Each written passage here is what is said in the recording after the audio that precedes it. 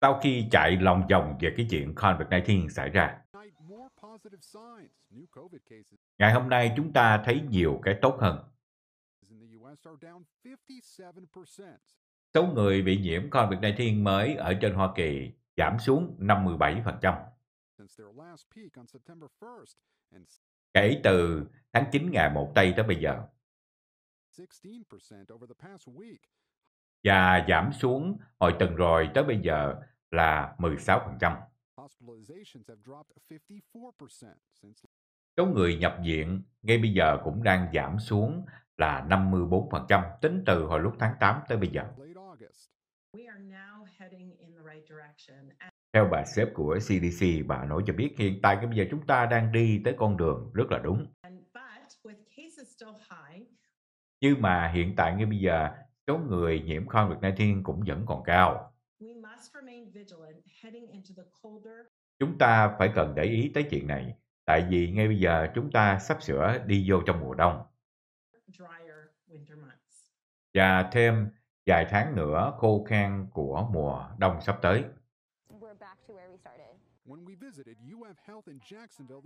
Đây là ở bên Jackson vào tháng 7 vừa qua mùa hè. Lúc đó, ngay nhà thương ở đây có khoảng chừng hơn 200 người đang nằm trong nhà thương.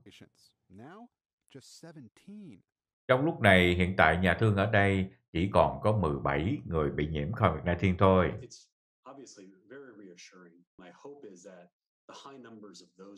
Và đây là rất là tốt về chuyện này. Và tôi hy vọng cái số người mà nhiễm nặng đó đã chích thuốc ngừa vào tháng 7 rồi tháng 8 và làm như vậy nó thay đổi một cái rất là lớn về những người nhập viện trong nhà thương.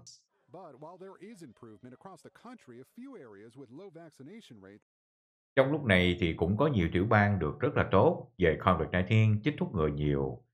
Nhưng mà cũng có một số tiểu bang ở trên Hoa Kỳ không có chích thuốc ngừa nhiều đó. Chỗ đó hiện tại ngay bây giờ vẫn là hotspot, rất là nguy hiểm. Giống như nhà thương nằm ở bên Montana. Và trong lúc này thì số người nhiễm cũng thấp nhưng mà cũng đang lo ngại sắp tới của mùa đông.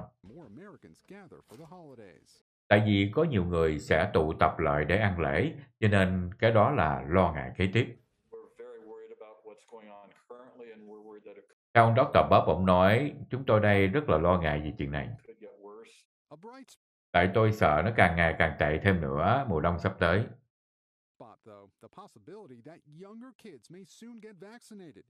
Và một con đường đi đúng, đó là trẻ em ở trên Hoa Kỳ sắp sửa tới đây sẽ được chích thuốc ngừa của COVID-19.